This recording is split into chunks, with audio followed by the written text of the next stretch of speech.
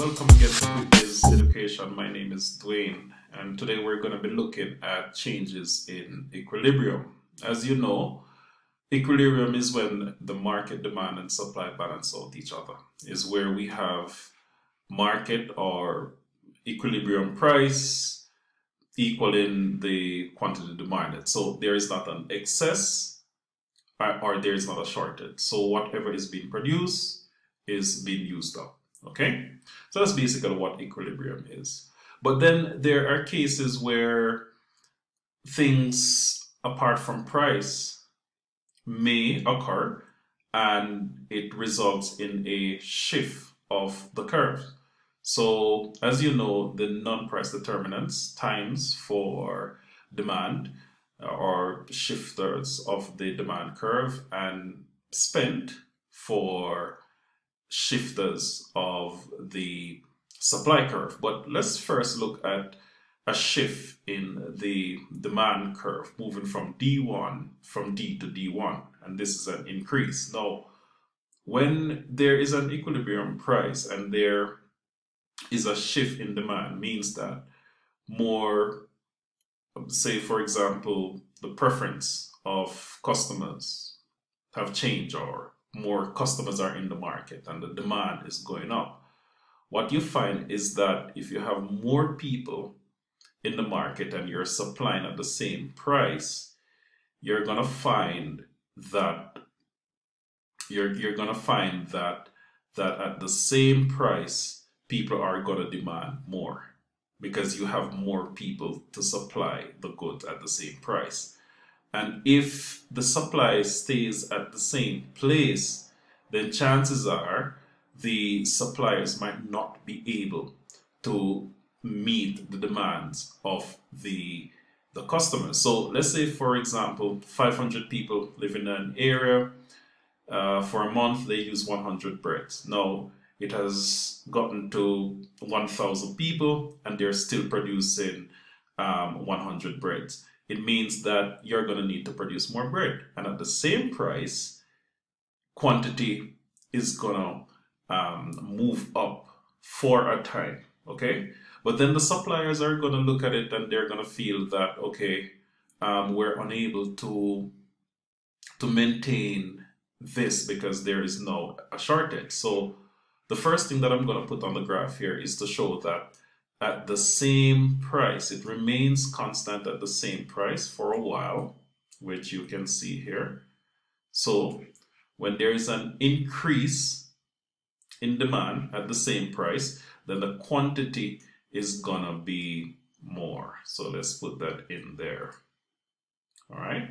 So what you find here now is that because the demand is more than the supply, there's gonna be a shortage, right? Remember, 1,000 people now living in the area with 100 breads can't work. There is a shortage. So because of that, in order to eliminate now the shortage, the suppliers can now ask for more. They can say, okay, in order for us to produce uh, 200 breads then for the 1,000 people living in the area, we'll have to go up with the price. So let's say if we go up with the price for suppliers and move from P, E to P, it now changes the equilibrium price. Okay, so the market now regulates itself because now suppliers basically based on the price. Because you have to remember the laws. You have to remember the law of supply. When the price is higher, then suppliers are going to be happy to produce. So at a higher price, they're going to be able to produce, which will regulate um, the market and the result would be now a new equilibrium equilibrium price okay? So this is the new one that is the old one. All right. Now on this side we can use let's use supply for a change on this one and we're going to use a decrease because we use demand increase use supply decrease. So let's say same thing happens in terms of the determinants of supply all right it could be that the factors of production um, the prices went up and hence the there there now is a reduction in supply. So it moves from S to S1. So it means that the suppliers now they're unable to produce as many products as before because now they're spending more on raw materials. All right. So if we look at it here at the same price, you'll see that they will be able to supply um, not the same as when the market was, you know, normal and everything. Uh, all things were perfect in the market. Now it has changed, and there would be a reduction. So because of this now, because of the, the, the supply is now less and there is a decrease, this now will cause the equilibrium price to rise and the quantity now demanded would be less. Okay? Because when you look at it, it, it makes sense. If the suppliers will be spending more on raw materials or more on the factors of production, probably for labor, you know, paying people more, then in order to recover the costs that they're putting in, they probably will need to increase the price. So by increasing the price, you'll find that there is going to be a new equilibrium. So an increase in price now will cause a reduction in the demand.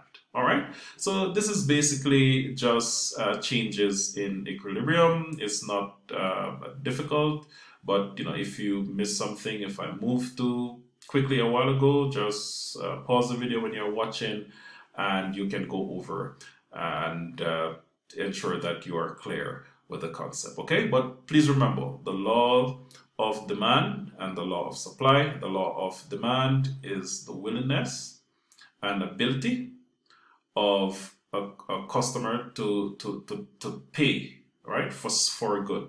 Whereas the law of supply is the willingness and ability to produce at that price. Okay, so do enjoy the rest of the day.